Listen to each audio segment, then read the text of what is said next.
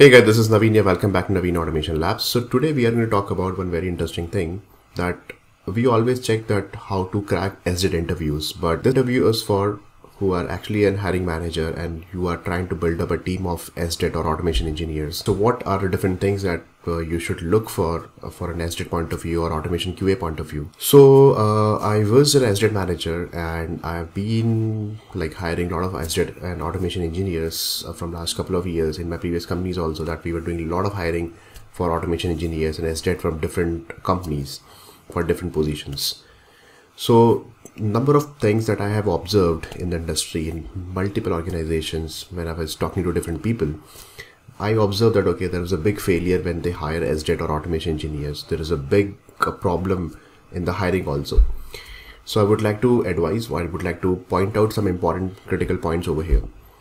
So the first thing is that if you are uh, going to set up a new team, you don't have any framework, application is very new, and then you have the scope of uh, you know automation with respect to UI and API or um, uh, app automation that you have, I think you should start hiring some really good people.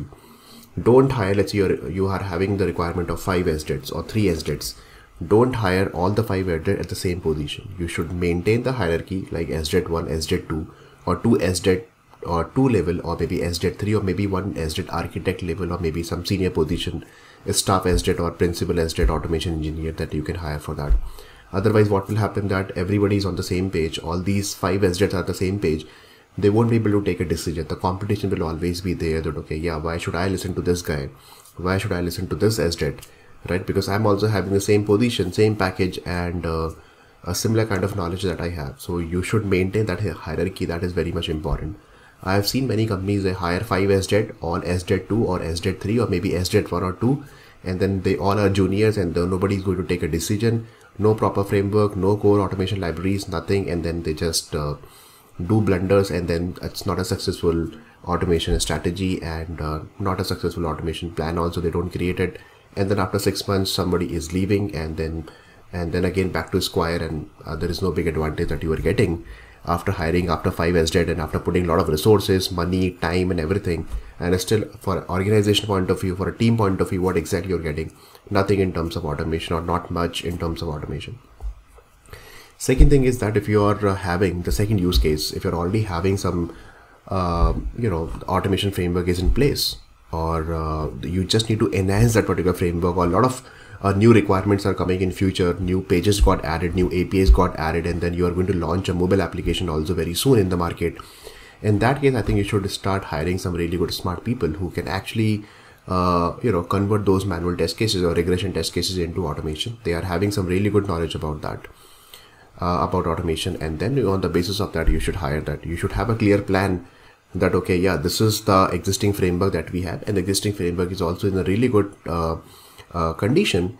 And then i think who can uh, a person you can you can hire who can actually take this particular uh, framework to the next level or make it more generic and add more and more test cases on top of that which can be handled by other team members also or other uh, you know teams also in your organization.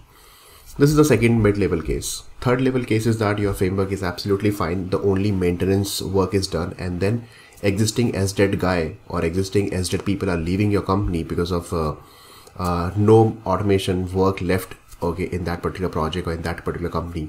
So in that case if you're hiring a rock star who is really good in automation who is really good in SDET then in that case uh, you're doing a big blunder over there because you're hiring some really good guy who is actually expert in SDET expert in automation and then uh, and then you don't have uh, you know good amount of work left.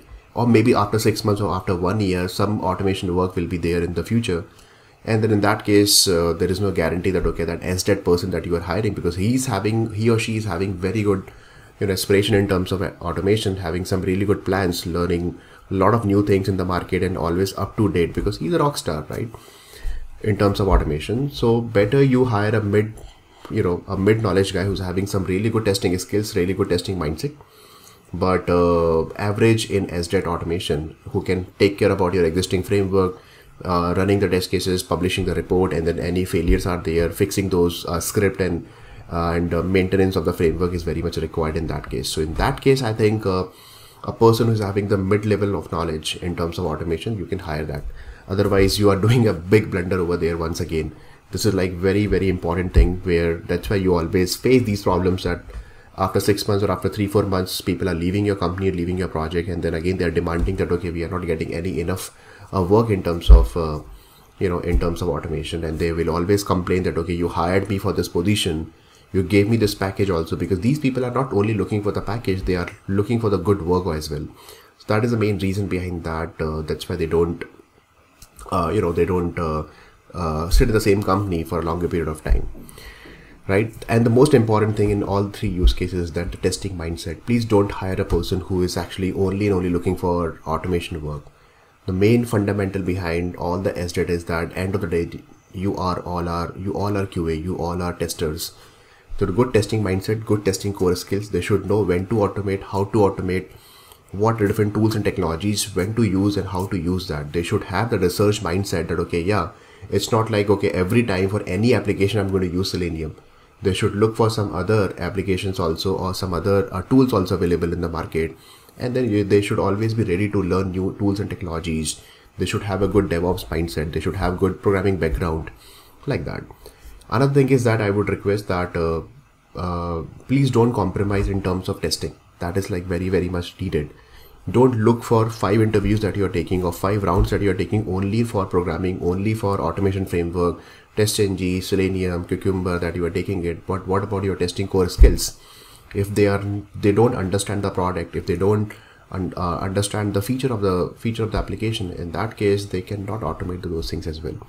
So that is very much required in that case. The basic core skills like should be there. Then some people they always argue that okay no i'm the automation engineer. Why should i learn uh, testing skills or uh, testing core uh, test cases? I i'm not going to write manual test cases. I'm not going to execute manual test cases. This mindset or this attitude is wrong actually. You have to justify the testing over here. Software development engineering test automation tester or tester or manual tester they all are coming in the same umbrella that is your testing umbrella or tester umbrella so i think you should focus you should at least take uh, one important round of interview, maybe some test manager or test lead they can take, how exactly this person is taking care about the testing, taking care about all the scenarios, uh, how exactly the bug finding abilities and everything, and then testing core mindset.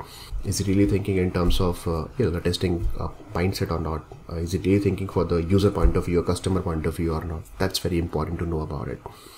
So I think uh, these are the important things I would like to say because a couple of people were asking that, okay, uh, Naveen, can you please build up our team? Can you please uh, involve in our hiring process?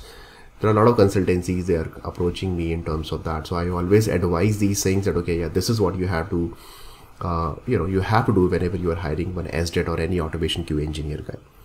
What do you think about it? Do you have any other extra point to add? Feel free to add in the comment section. So that's all for this particular video guys. I hope you liked it and please advise to your hiring manager and to your HR team also just to concentrate on these important points. What do you think about it? And then if you have any extra points to add, feel free to add in the comment section. I'll see you in the next video. Till then, take care and God bless you all.